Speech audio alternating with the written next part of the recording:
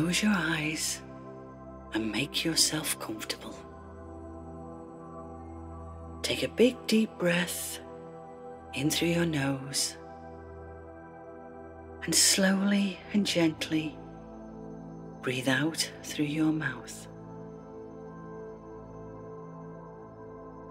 Take another deep breath in and slowly and gently breathe out through your mouth. One last time, deep breath in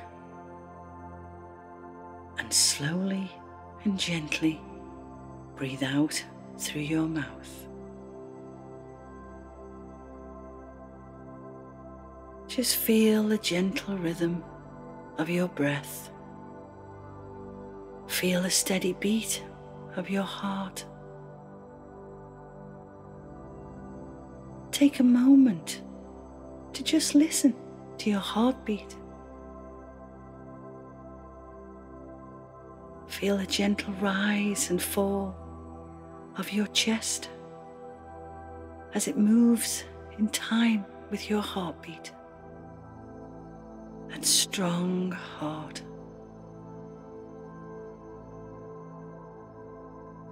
And with each beat of your heart, you feel more and more relaxed, more and more calm, and more and more peaceful.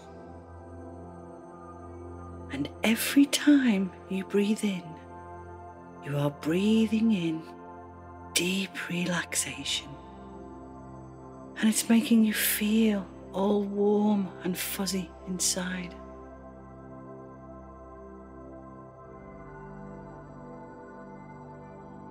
Tense up your whole body really tightly and hold it just for a second. And now let it go.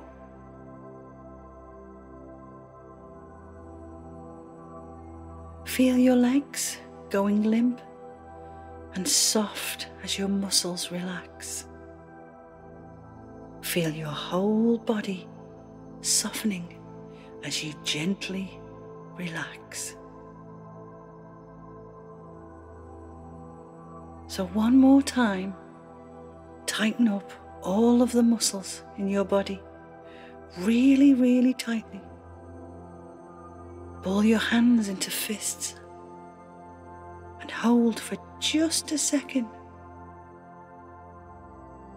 Now let it go. That's really, really good. Well done. You are now so relaxed that your whole body is still.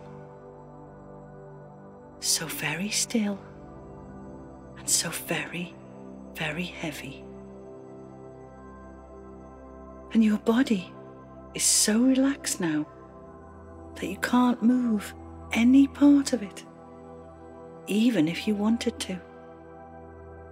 But that's okay, because you don't want to.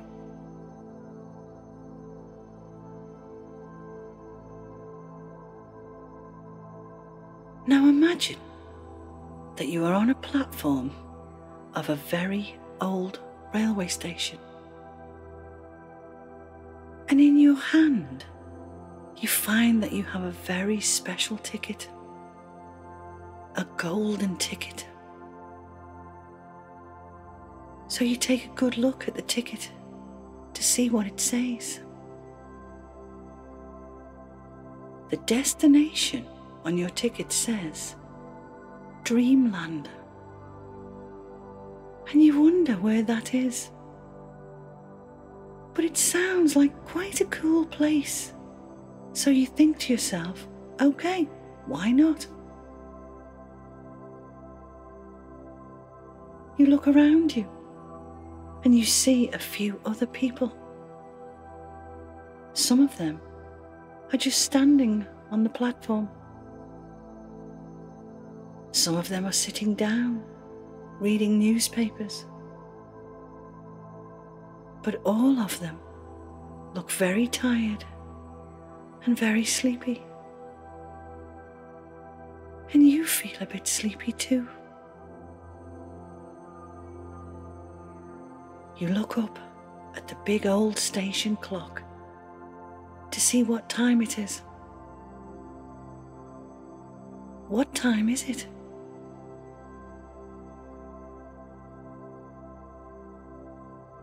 You look around the station and you notice that it's a very old fashioned place. And it kind of looks like you've gone back in time. It looks like an old Victorian station. And it feels very comfortable and very nice. As you wait for your train to arrive, you notice that the sun is starting to sink just a little bit lower in the sky.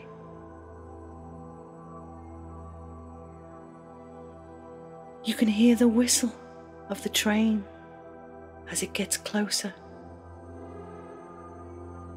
And you can just about see it further along the track. You can see the great big puffs of steam as the train starts to slow down. And you can hear the whistle blowing again to signal its arrival. Only this time, it's a lot louder.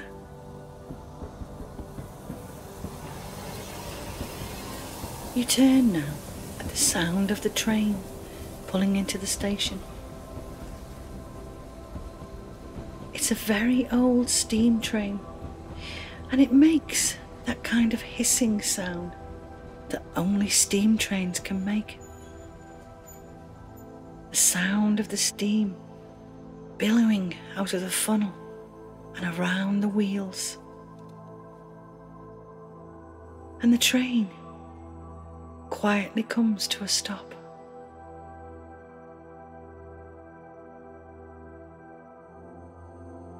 You look at this beautiful train.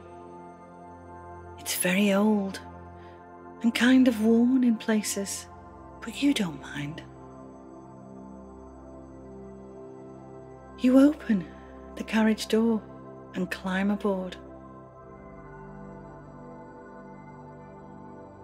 This train is not like the newer trains of today. It's also a very special train. You walk along the tiny corridor until you come to your compartment. You open the door and step inside. There is no one else there at the moment, so you find yourself a nice, comfortable place by the window and sit down. After a few minutes, the whistle of the train begins to blow again to signal that the train is about to move. And you can hear the slamming of the doors one by one. You hear a second whistle blow, and the train slowly begins to lurch forward. You can hear the chugging of the engine as it burns the coal on the fire that's making the train move. The train begins to move out of the station, picking up speed as it goes. The wheels squeal a bit on the tracks, but the train keeps on moving.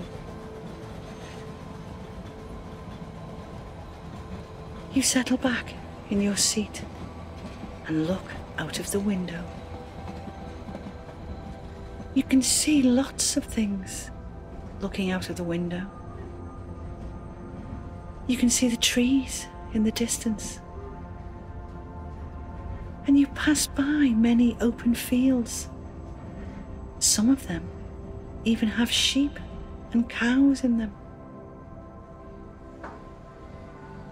And when you look a little bit further, you can even see the misty mountains as you pass by.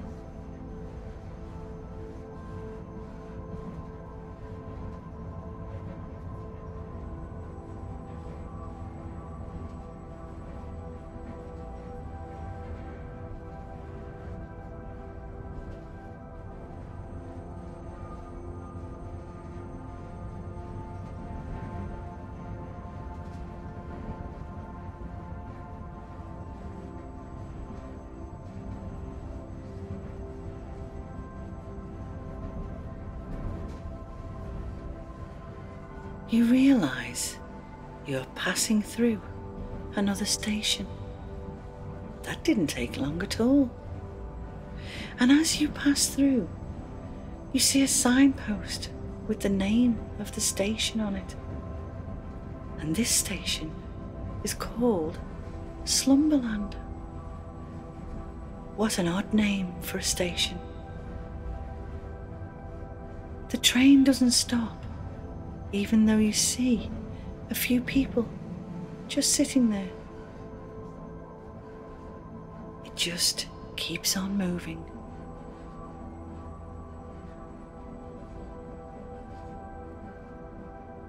You continue looking out of the window, wondering what else you may see.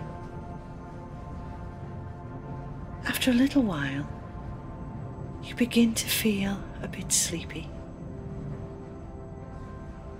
You notice that the sun has nearly set, but not quite yet. You see more images passing by the window. What do you see?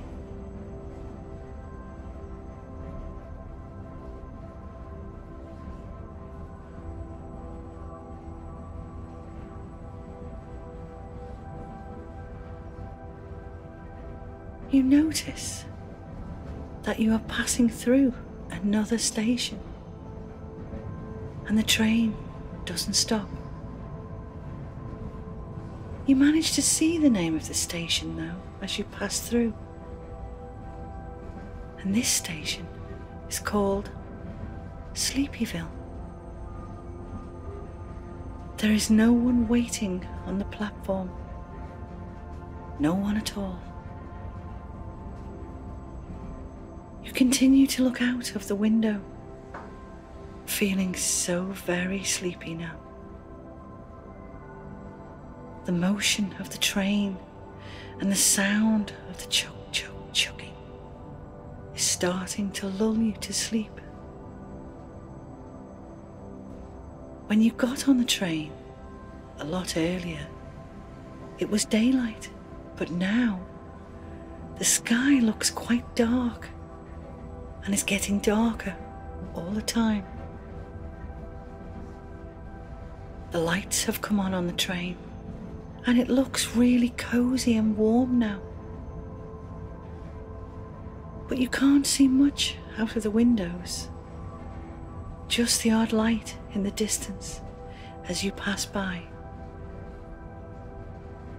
And you can just about see the darker shadows of the misty mountains as the last of the daylight sky disappears. But they too are slowly fading fast now. The closer you get to your destination, called Dreamland, the more and more tired you become. So very sleepy now. Your body is starting to feel quite heavy. And as you look out of the window, you begin to see shooting stars flying across the night sky. You can see lots of them, and they look really beautiful.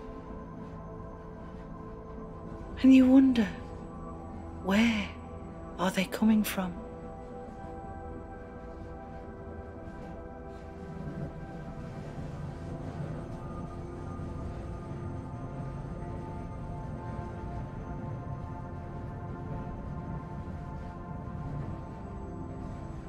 You pass through the final station. You just whiz by this one. The signpost says that this one is called Pillow Palace. And you think that they really do have some strange names for some of these stations. As you sit there looking out of the window at the shooting stars, you feel a strange sensation. It feels like the train is rising into the air. But that can't be right, surely. You look out of the window again, and you see that the lights you could see in the distance earlier are now beneath you. You are now looking down on them, and they are getting smaller and smaller as the train rises higher and higher. You can still hear the train as it chuck, chuck, chucks over the tracks. But you realize that the tracks are now high up in the clouds. As you look out of the window, you see the beautiful glowing moon it's almost an orange colour. A very warm and very inviting colour. All of the stars are out now too, shining brightly and so very beautifully. And you feel so very tired now, so very, very sleepy.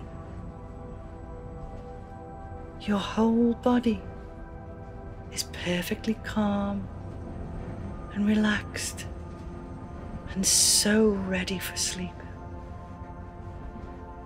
Your eyes, they're so heavy. So you close them just for a little while. Imagine all of the thoughts in your head are just dissolving away. Imagine that any thoughts that may be still trapped inside are just floating away up to the stars. And they do find their way into the beautiful starry sky above you. And then they just drift out of sight. Soon you'll be sound asleep off on a peaceful journey to dreamland that will carry you all the way through until morning. As you slowly drift off to sleep, the train gently starts to slow down. And it slowly and peacefully chokes into the station. And this station is called Dreamland. But you don't notice this because you can't open your eyes anyway. But that's okay because you don't need to open them. Dreamland is the place where beautiful dreams come true. Dreamland is a place of peace and safety just for you.